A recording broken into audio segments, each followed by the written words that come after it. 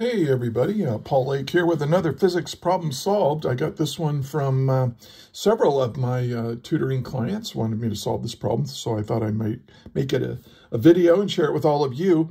Uh, if you need a physics tutor, check the uh, video description. There's a link uh, that will get you in touch with me. And um, so today's problem, let's get to it. so uh, we've got uh, an airplane and it accelerates uniformly from rest, okay? Uh, a physicist uh, passenger holds up a thin string of negligible mass uh, to which she has uh, tied her ring and notices that the string makes an angle with the vertical. if the plane reaches a takeoff speed of 65 meters per second after accelerating for a total of 30 seconds, determine the angle theta that the string makes with the vertical uh, during the acceleration of the plane before it leaves the ground. Okay, so uh, what do you need uh, to know to solve this problem? Well, you need to be familiar with the kinematic equations for constant acceleration and uh, how to use Newton's second law in conjunction with free body diagrams. So if this is totally unfamiliar, to you, you might want to study it before you give this a shot. But I do encourage all of you uh, watching this video, try this problem yourself before watching the rest of this video. And, um, and then you can uh, check your work with mine. All right, so let's get started. Um, what is given in this problem? Let's draw a little sketch. We don't really need to draw the airplane. The airplane is what's called a, a an accelerating reference frame. So the passenger is in this reference frame that's accelerating. And what she sees is this. Uh, she's holding a string, and the string is uh, holding a ring. We're going to assume that the mass of the ring is what matters. The mass of the string doesn't really um, amount to much. And because we're accelerating to the right, we'll say the airplane is accelerating to the right, the um, the ring is is is off at an angle from the vertical like this. Now I encourage you to try this. Uh, take a, a ring or some mass and with a light string and hold it in a car. Now, don't you be the driver. Somebody else should drive. But just watch it as you accelerate forward or accelerate back or even accelerate to the side by going around a turn. And you will see that uh, as you accelerate, the, uh, the mass on the string will um, deviate from the vertical with a certain angle. And if you know this angle, if you put a protractor here, you can even figure out what the uh, acceleration is. Okay, now they don't tell us what the acceleration is, but they do give us some kinematic information. First of all, it says the, the uh, airplane uh, accelerates uniformly from rest. So, oh, by the way, accelerates uniformly, that means A equals a constant. Now that's important because if the acceleration is constant, that means I can use those kinematic equations, and we'll get to those in a minute. Um, and uh, so we know that we're starting from rest. So that means that the initial velocity, the velocity at time equals zero is equal to zero. Okay, and then the final velocity, which I write like this, is 65 meters per second. And of course, that all took 30 seconds uh, to do. And, um, and so what we want to find, we want to find that angle theta. Okay. Now this is a problem that involves force. And so, um, and force and acceleration. So uh, what I'm going to do is uh, go right to uh, a, a, free body diagram of the object so that I can understand the outside forces that are acting on the object of interest. In this case, the object of interest is this ring. So I'm going to draw a free body diagram of the ring. Here's the ring. And of course, we have a string pulling up and to the right like this. So that's a tension force. I'll call that F sub t. Some books just write it as t. And then, uh, of course, this force is at an angle theta. Put theta right in there. Make this a little bigger. And of course, uh, gravity's pulling this thing down, right?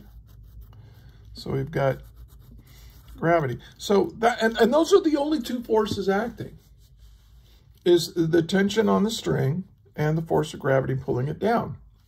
And that's it. Uh, there's no normal force here. There's no force of friction or anything like that. Um, some people, um, I, have seen one put, well, what is what about the force of the airplane? Well, this ring doesn't know it's on an airplane. All it knows, and it doesn't know anything, it's an inanimate object, but but it's only under the influence of the force of this string on it and of the force of the gravity field of Earth. And, and that's it. Now I'm going to make, since I know the acceleration is to the right, I'm going to say that that's my x direction. And of course the vertical will be my y direction.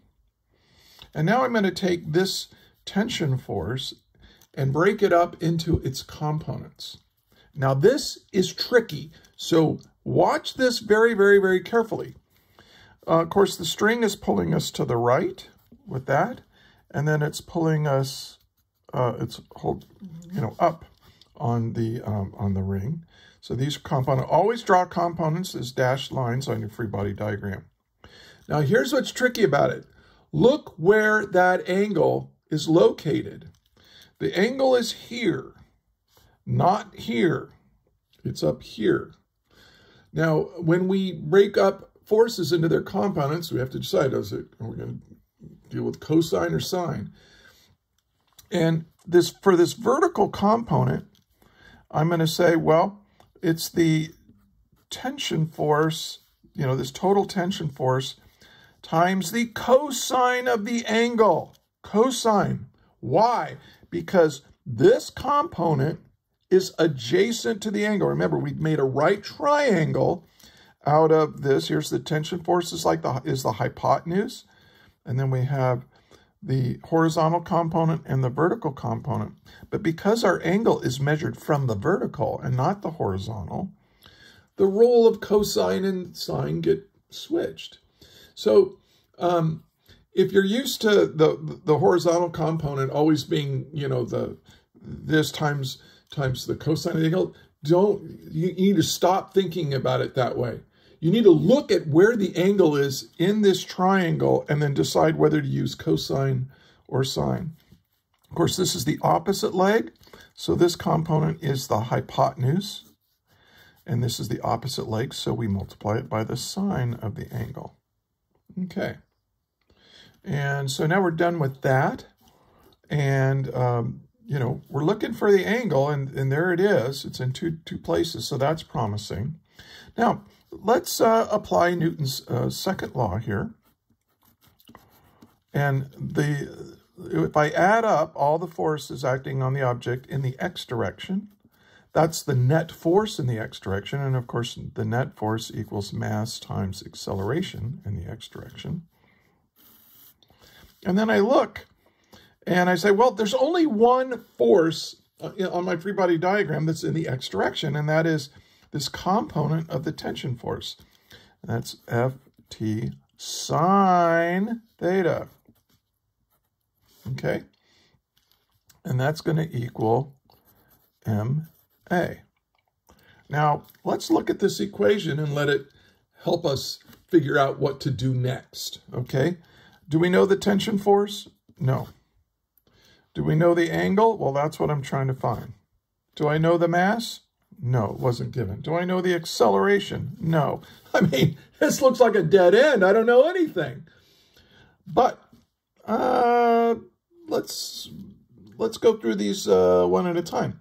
Let's figure out what the acceleration is. And this is very common in force problems where they will give you kinematic information and then you can use that kinematic information to solve for the acceleration and then use it in this equation to solve for whatever unknown you, you have. So, um, so let's do that. Let's figure out what the acceleration is. Well, I have to figure out which kinematic equation to use. They told us that the uh, they told us in the problem that the, the, the, it accelerates uniformly, so I can use the kinematic equations. Well, let's let me uh, write those out. Okay, there's four of them. V equals V naught plus at.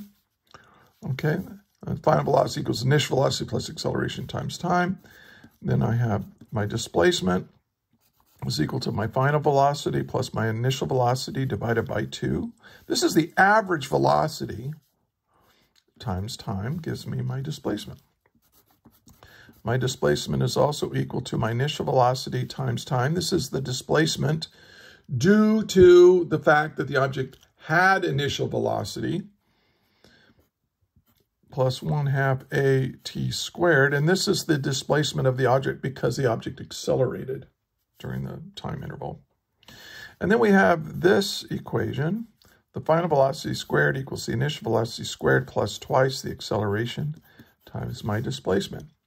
Now, these all interact together. They're, they're all kind of telling the same story. But why, so why do we have four of them? Well, um, this should be review for you, but, uh, but that's okay. It's good to review. Um, what's missing? Okay, if I look at this, hey, look, there's no displacement in this equation. And in this equation, there's no acceleration. And in the third equation on my list, there's no final velocity. And in this equation, there's no time. So if you have a kinematics problem that does not involve displacement, it's not given, and you're not trying to find it, this is the equation to use. And in fact, that's the situation I have. I'm given the initial velocity, the final velocity, and time. And I want to find the, I need to find the acceleration so I can put it in here. Well, this is the equation to use. This one, uh, uh you know, um, well, this one doesn't even have what I'm trying to find in, uh, in it. I'm trying to find the acceleration, so I wouldn't use that. Um, this, um, I'm given the final velocity, but this doesn't use it, so, you know. And then this, uh, I'm given time. Uh, time is not missing from this problem. So this is the equation to use, and that's kind of how I um, figure out which kinematic equation to use is the, is, is, uh, is the best approach. Okay. So, um, so let's figure out what the acceleration is. V equals V naught plus AT. Now let's solve for that acceleration. That's the final velocity minus the initial velocity divided by time, right? I just algebraically solved for all that. Now, this might look familiar to you. There's another way of figuring out acceleration. What's the definition of acceleration? It's delta V over delta T, right? The change in velocity over the change in time. Well, V minus V naught, that's the change in velocity. And this is the time interval. It's just that my initial time is zero. In this, the, the way I'm writing this down, that's what that little zero means, my velocity when time equals zero. And, uh, oh, well, that's zero. It's given to be zero. And so my acceleration is 65 meters per second. That's the final velocity minus the initial velocity, was given to be zero. And they, they told us in the problem, right, 30 seconds. So the time is 30 seconds. And when you plug that into a calculator, you should get 2.167. I'll carry a few extra significant figures here, um, more than I need. Uh, but here's my acceleration. So yay, I got this taken care of. Now, I need to figure out mass and tension force. Now, here's a hint. When you're doing physics problems like this, and they don't give you the mass, you can kind of assume that it's going to cancel out. So just don't panic. Just say, okay, I'm just going to assume it's going to cancel out. And yeah, it will cancel out. Because let's, uh, um, let's sum the forces in the y direction. That equals ma in the y direction right? And um, this is Newton's second law, right? You add up all the forces that are in the y direction. That'll be your net force in the y direction, and that equals mass times acceleration. Well, uh, look at your free body diagram. The free body diagram uh, determines how you write this equation out. So I've got ft cosine theta And then minus, right, you, you've still got the weight, minus mg equals, and then ask yourself, what is the acceleration in the y direction? Well, this thing is accelerating in the horizontal direction as this airplane is taking off. The airplane is not accelerating up or down, not yet. It's on the runway. So the acceleration in the y direction is zero. Yay. Okay, so that, that means I can put a zero right there. And this means, oh, I can solve for ft and plug it in here. And that's what I'm going to do now. I'm going to add mg to the other side and divide by cosine theta. So the tension force in that string is going to be equal to the weight divided by the cosine of the angle that you have right there. Cool. All right, so put that in there. And so I'll do that down here. We've got um, uh, Ft is the weight divided by the cosine of the angle times the sine of the angle, right, from here to here. This is Ft, and this is sine of the angle, and that's going to be equal to MA. Oh, look, this is cool. I've got M on both sides, so divide, divide both sides of your equation by M, and the mass does cancel out. Yay. All right. And so, and here I've got to check. So I've got G, and what is sine theta divided by cosine theta? Well, hopefully you know that sine theta divided by cosine theta is tangent theta equals the acceleration. I think you know where, where it's coming next. We, we can say, okay, the, the tangent of the angle is equal to the ratio of the acceleration of the airplane divided by the acceleration due to gravity. And, um, well, I, I don't want this. I want, uh, I want, I want theta. And sorry about that. I forgot to silence my phone. All right. Uh, so the inverse tangent of that, well, that's A. Well, I know what A is, right? The that's 2.167 meters per second squared divided by G, which is 9.8 meters per second squared. now, when you do this, whenever you do inverse tangent, make sure that these the, the numerator and the denominator, whatever that quantity is, they have the same units. The units have to cancel out. You cannot take a ratio that isn't um, uh, dimensionless when you're using inverse tangent. So that's a good way to check your work. Oh, good grief. I'm going to silence my phone here. I'm not going to start over, though, so sorry. All right. So now I can plug that in. And when you do, plug that into your calculator, you should get, well, what I got was 12.5 degrees. And that's my answer. Okay, so pretty decent problem. Um, and I encourage you, like I said before, take a little mass on a, on a ni nice little thread, very light string. And, um, you know, while you're driving around or if you're on a train or an airplane, um, uh, watch it. Try to accelerate at a constant rate and you'll see that it will deflect out and it will stay there. Uh, it'll probably swing around a little bit. It's hard to hard to do it perfectly, but anyway, it's kind of cool. All right. Well, I hope you found this um, um, helpful. If you did, please uh, please like the video. And if you're a physics student, I encourage you to um, subscribe to my channel. And uh, I'm going to try to make a whole bunch more videos. And and um, look in the description for a link where I'm trying to organize all these videos into uh, uh, a document that will help you uh, find what you're looking for. So, um, but anyway, um, hey, you all take care of yourselves and uh, may the net force be with you.